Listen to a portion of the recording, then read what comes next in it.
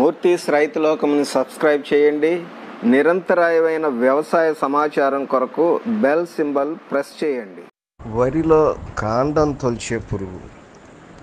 స్కిర్పోఫాగా ఇన్సెర్టులాస్. దీని శాస్త్రీయ నామం.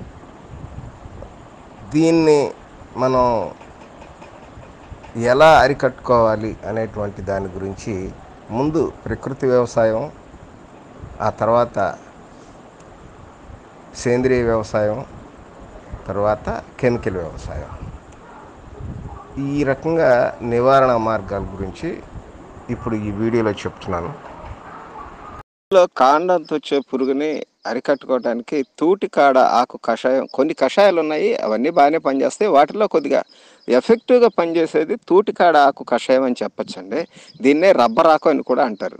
ఊదా కలర్లో గొట్టాలు లాంటి పూలు ఉంటాయి సహజంగా కాలువలలో గట్ల వెంపటి కానీ కాలువలలో నీరు అయిపోయిన తర్వాత కానీ పెరుగుతూ ఉంటాయి. వీటి ఆకుని ఒక ఐదు కేజీలు దొరకని పక్షుల్లో నాలుగు కేజీలైనా పర్లేదు. ఆకుని నూరి ముద్దలాగా చేసి ఏదన్నా ఒక కొండ లాంటి దానిలో పది లీటర్ల నాటు ఆవు మూత్రం తీసుకొని ఈ తూటికాడ ఆకు ముద్ద చేసిన దాన్ని ఆ నాటు ఆవు మూత్రంలో వేసి పొయ్యి మీద ఐదు పొంగులు వచ్చేంత వరకు మరగబెట్టాలి.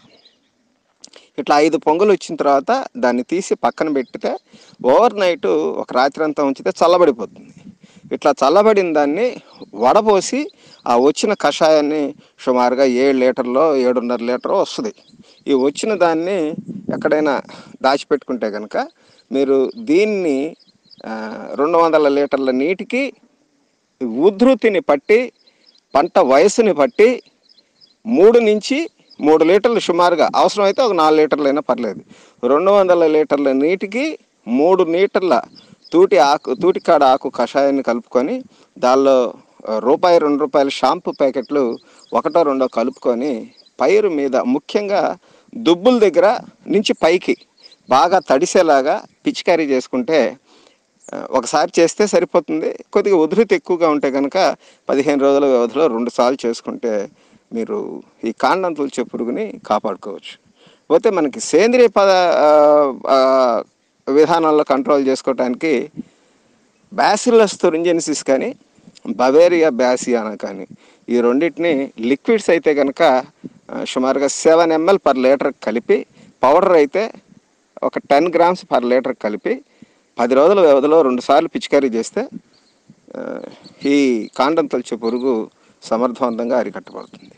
థ్యాంక్ పైన చెప్పినటువంటి ప్రకృతి సేంద్రియ విధానాలతో పాటుగా కెమికల్ విధానంలో మనం స్కిర్పోఫాగా ఇన్సెక్టులాస్ అనేటువంటి వరిలో కాండం తొలిచే పురుగు నివారణ కిందకు వచ్చేటప్పటికి మనకి బాగా చాలా సమర్థవంతంగా పనిచేసేటువంటి కెమికల్ ఇన్సెక్టిసైడ్స్ కిందకి వచ్చేటప్పటికి ఒకటి మనకి ఇమామెక్టిన్ బెంజోయేట్ అని ఉంటుంది అది బాగా పనిచేస్తుంది.